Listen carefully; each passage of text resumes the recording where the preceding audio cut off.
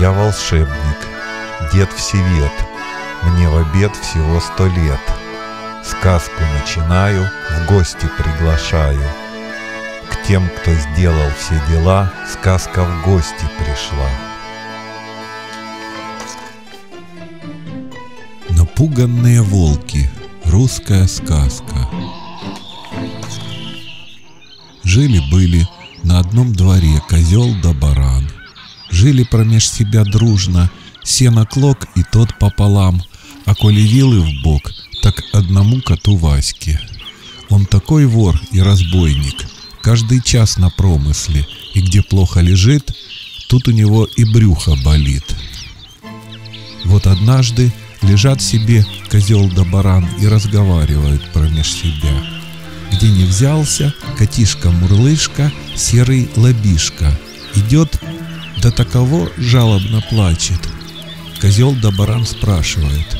Кот, каток, серенький лобок, о чем ты, котя, плачешь, на трех ногах скачешь? Как мне не плакать? Била меня старая баба, била-била, уши выдирала, ноги поломала, да еще удавку припасла.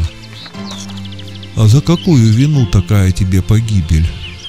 Эх, да зато погибель была, что себя не опознал, да сметану слезал. И опять заплакал кот Мурлыка.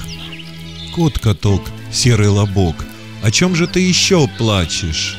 Как мне не плакать? Баба меня била да приговаривала. Ко мне придет зять, где будет сметану взять? За неволю придется колотить козла да барана. Заревели козел да баран. Ах ты серый кот, бестолковый лоб, за что ты нас загубил?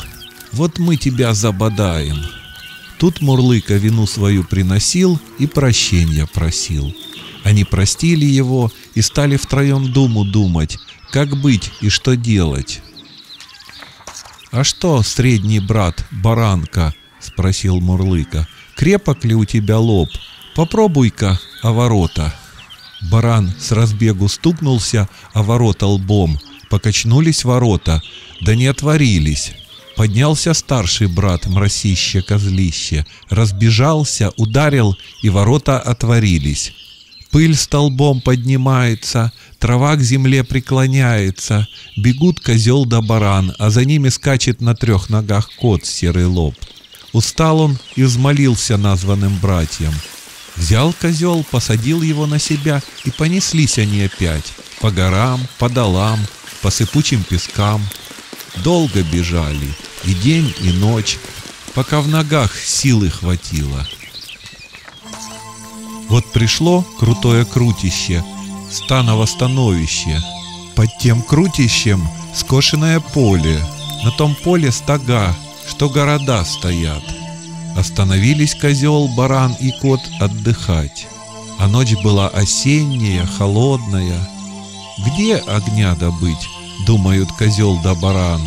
А Мурлышка уже добыл бересты, обернул козлу рога и велел ему с бараном стукаться лбами. Стукнулись козел с бараном, да таково крепко, что искры из глаз посыпались.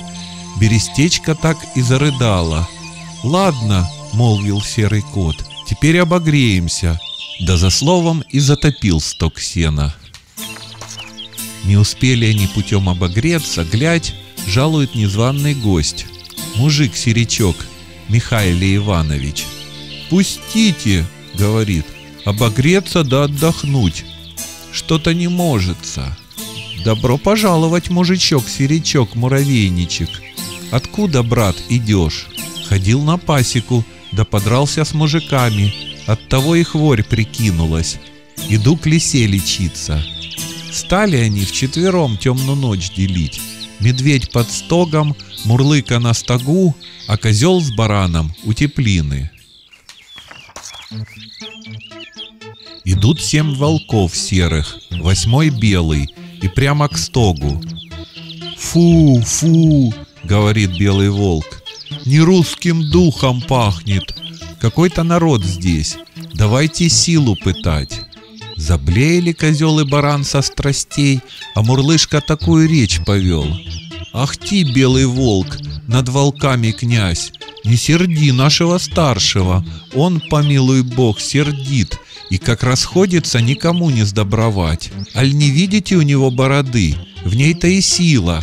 Бородой он зверей побивает, а рогами только кожу сымает. Лучше с честью подойдите да попросите. Хотим, дескать, поиграть с твоим меньшим братишкой, что под стогом-то лежит. Волки на том козлу кланялись, обступили Мишку и стали его задирать. Вот он крепился-крепился, да и как хватит за каждую лапу по волку. Запели они Лазаря, выбрались кое-как, да поджав хвосты, подавай бог ноги. А козел да баран тем времечком подхватили мурлыку и побежали в лес. И опять наткнулись на серых волков. Кот вскарабкался на самую макушку ели, а козел с бараном схватились передними ногами за еловый сук и повисли. Волки стоят под елью, зубы оскалили и воют, глядя на козла и барана. Видит кот серый лоб, что дело плохо. Стал кидать волков еловые шишки, да приговаривать.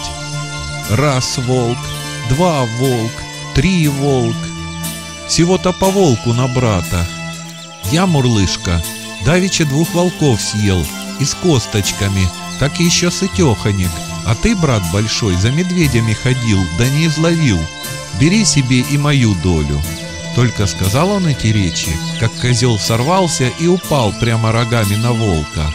А Мурлыка, знай, свое кричит. «Держи его! Лови его!» Тут на волков такой страх нашел, что со всех ног припустили бежать без оглядки так и ушли.